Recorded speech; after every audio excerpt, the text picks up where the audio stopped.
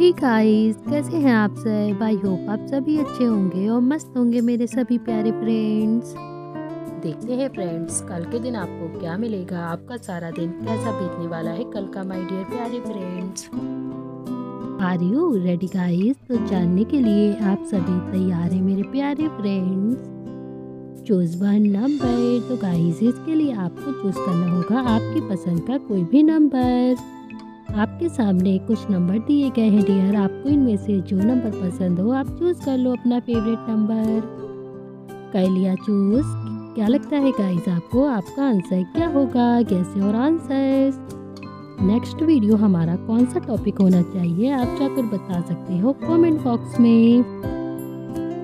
Please wait तो आपको करना पड़ेगा थोड़ा सा वेट और चैनल को जल्दी से सब्सक्राइब लोडिंग तो गाइज़ अब आपके आंसर्स लोड होने लगे हैं dear now your answers ready guys तो अब आपके आंसर आने वाले हैं.